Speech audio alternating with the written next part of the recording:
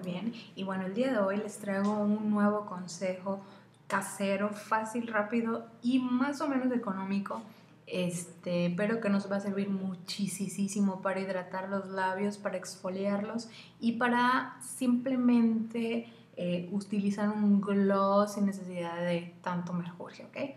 Bueno, para que se nos vean esponjaditos, rosaditos, jugositos los labios, lo único que vamos a necesitar es en un moldecito de plástico el que tengas, eh, vamos a ocupar un poquito de aceite de coco orgánico extra este frasquito a mí me costó como 80 pesos más o menos, pero, o sea, trae todo esto y te sirve para muchísimas otras cosas que después les voy a contar, pero este es el primer tip que voy a hacer y es, vamos a tomar un poquito.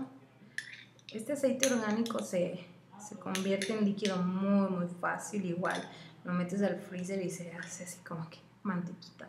¿okay? Entonces vamos a mezclar un poco de esto. Okay. así. Con un poco de miel de abeja. Más o menos así. Mezclamos perfectamente bien. Cristalino. Ok. Una vez mezclado, más o menos, queda más o menos así. Okay. Y ahora lo que vamos a hacer es agregarle un poco de azúcar mascabado. Es esta, es como morenita.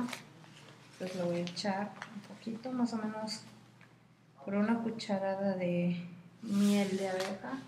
Calculas una y media, inclusive dos de azúcar. Entonces ya que la agregué, la vamos a mezclar. Una vez mezclada,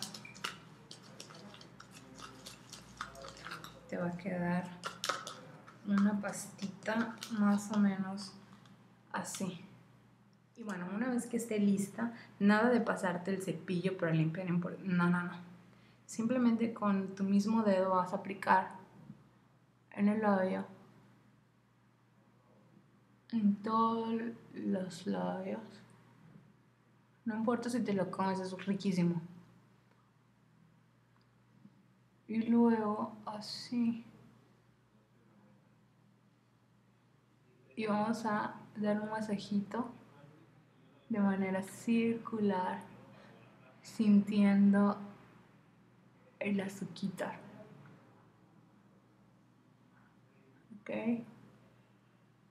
Y así por un minuto más o menos. Como esto.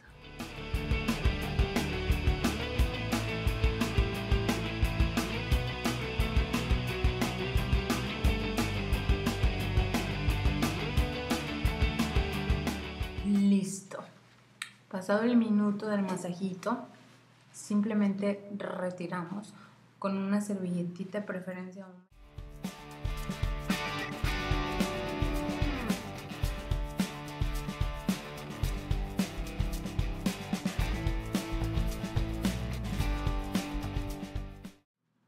Listo.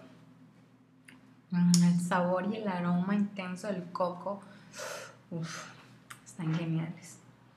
Entonces, después de esto, lo que vamos a hacer es hidratar con tu hidratante favorito. Yo tengo este que es chapstick.